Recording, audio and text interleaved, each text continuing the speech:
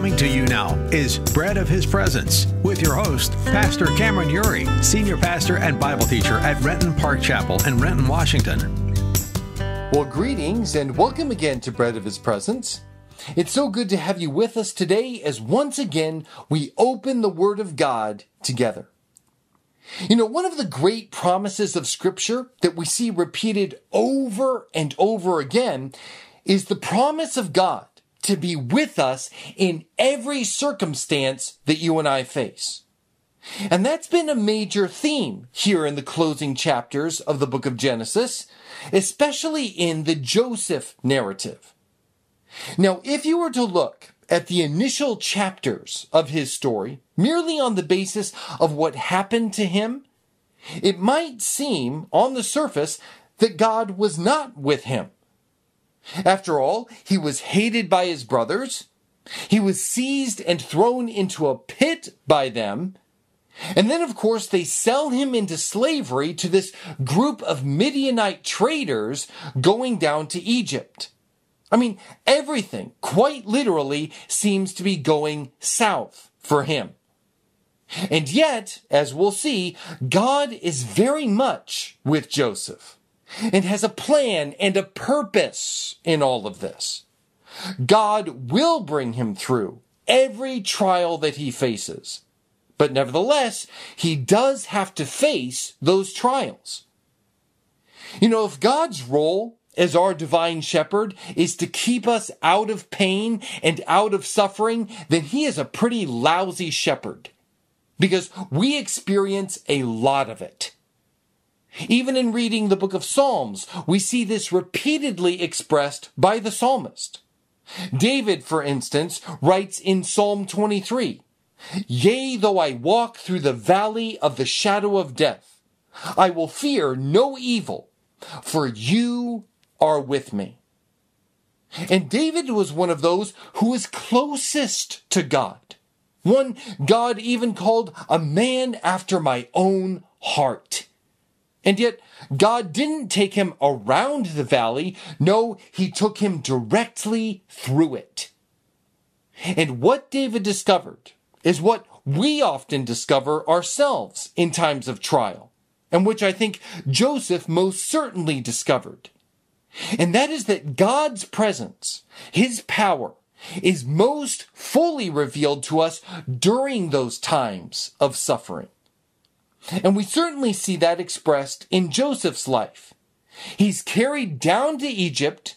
He's bought by the captain of Pharaoh's guards, who brings him into his household, and under any normal circumstance would probably have had very little to do with Joseph ever again.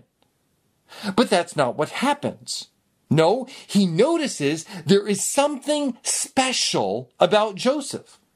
So much so that he not only brings him into his home, but eventually puts him in charge of his entire household. And the text explicitly tells us why. It says, His master saw that the Lord, Yahweh, was with him. And that alone is such a remarkable phrase because it indicates that Joseph is fulfilling God's role for the Jewish people. God had chosen Abraham and his descendants to reveal his nature and his character to the world. And Jesus, the ultimate son of Abraham, who also happened to be the son of God, just a minor note there, he was the ultimate revelation to us of the nature of God the greatest expression of his grace and provision for salvation. And you know what Luke chapter 2 verse 40 says of Jesus? And the child grew and became strong in spirit, filled with wisdom, and the grace of God was upon him. You see, it is the presence of God that makes all the difference in a person's life. And he wants to make just as much of a difference in your life and in my life as well. Now, if the story of Joseph had ended there in Potiphar's house, that would be enough to show us the grace and mercy of God. As although his brothers intended evil for him, he ended up being brought into a royal household. But that was not the end of God's plan for his life because he had given Joseph, remember, some very specific prophetic dreams that had yet to come true. And what those dreams revealed was that God had a much bigger role for Joseph to play in a far grander plan of salvation. But as always happens, when God moves to bring about a great salvation, Satan engages in a counter move. Think about this. The moment Jesus had begun his ministry, Satan met him in the desert and sought to derail God's plan of salvation. And similarly, here in Potiphar's house, Satan has raised up another member of that household, Potiphar's wife, to be a stumbling block for Joseph because of how integral Joseph was to God's plan to save his people, as well as all of Egypt and all the surrounding nations. It says in verse 7 of Genesis 39, after some time, his master's wife looked longingly at Joseph and said, sleep with me. And so she notices that he's handsome, that he's well built, and she decides, I want him. And the text says she looked longingly at Joseph. Now, in the original Hebrew, that phrase could also be transliterated as swept away by her eyes. I mean, Potiphar's wife was swept off her feet and carried away with her desire for this handsome and virile young man. But you know, Joseph's response is absolutely beautiful. It says, but he refused.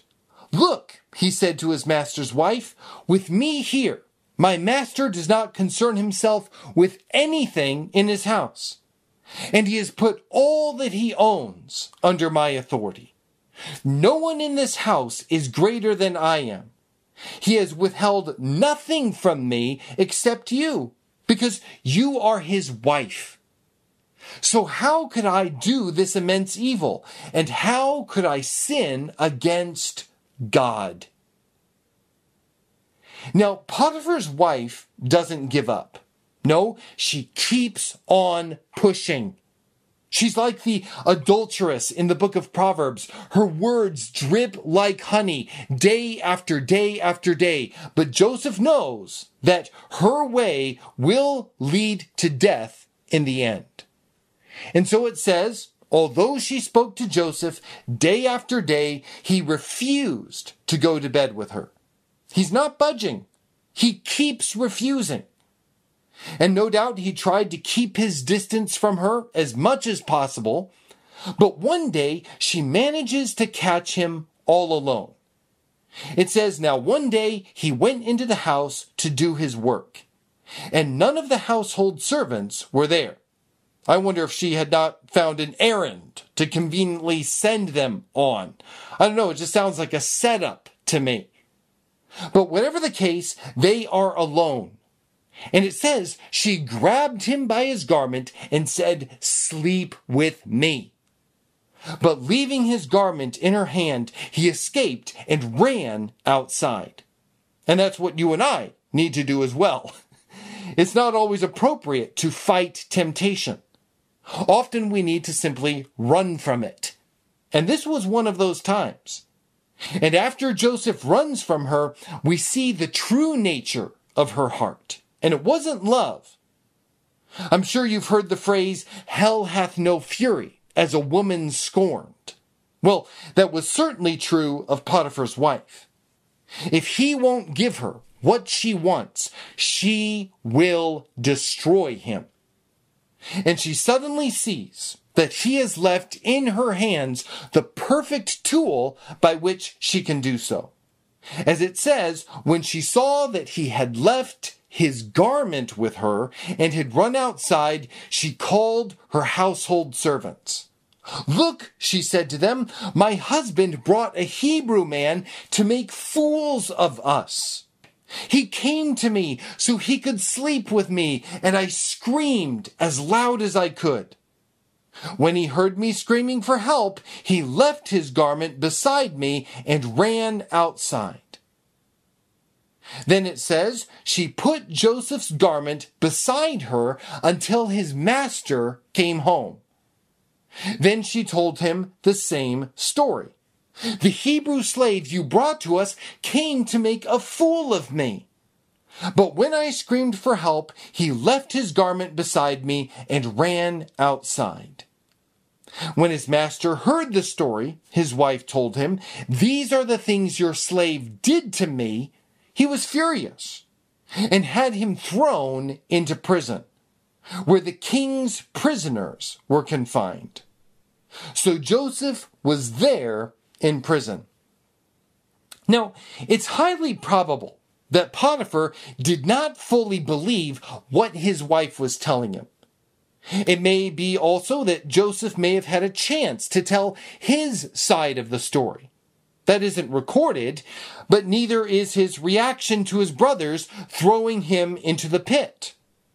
We find out what his reaction was later in their retelling of the story in Genesis 42, where it says, He pleaded with us. And so Joseph might have tried to explain. And Potiphar, though angry at first, may have had doubts. One indication of that is seen in how he chooses to punish Joseph because the penalty for that kind of sin in that culture was death. Absolutely without question. But Potiphar opts not to do that, which may indicate some level of doubt in his mind as to the veracity of his wife's story because he had known Joseph's character. His wife's character, on the other hand, was a little bit suspect. But Perhaps even just to save face, he has Joseph thrown into the prison. And so for the second time, Joseph had his garment removed, followed by his then being thrown somewhere. First into a pit and now a prison. But once again, though things once again seem to be getting worse, we're reminded in verse 21 of the fundamental truth relayed over and over again in and throughout this story. As it says, but the Lord, Yahweh, was with Joseph and extended kindness to him. He granted him favor with the prison warden. The warden put all the prisoners who were in the prison under Joseph's authority, and he was responsible for everything that was done there. The warden did not bother with anything under Joseph's authority because the Lord, Yahweh, was with him. And the Lord, Yahweh, made everything that he did successful. And as we will see, what was meant for evil only worked out for Joseph's good. As through his prison experience, he would come into contact with two guys one of whom would be instrumental in bringing him to Pharaoh, who would then make Joseph second in command over all of Egypt. And by the way, as we'll see later on, Joseph is given a wife, Asenath, who bears him two sons, Ephraim and Manasseh. And he likely never would have gotten married had it not been for the evil done to him. And let me tell you the irony of this. Do you know what her father's name is? Potipharah. He's punished by one Potiphar only to be rewarded through another. God has such an amazing sense of humor. But you know, what we learn from this part of the story of Joseph is that God rewards those who keep wholly unto him in every area of their lives, including their sexuality. You know, I was reminded just recently of something Dr. Dennis Kinlaw once said. He said, there's an important link between our purity in physical relationships and our vitality in spiritual relationships. It's quite clear biblically that God's purposes for us are tied up with our sexuality. He can only accomplish his purposes in human history, in human society, and in human lives if his followers use their sexuality according to his design and his plan. I've noticed a startling truth in the history of the church, he says. The Holy Spirit has a particular affinity for people who are very careful in the sexual aspect of their lives. You'll have a difficult time finding an outpouring of the Holy Spirit among people where there is substantial sexual laxity. For some reason, purity and revival are linked inseparably together. God seems to have a particular sensitivity for protecting his creation in that way.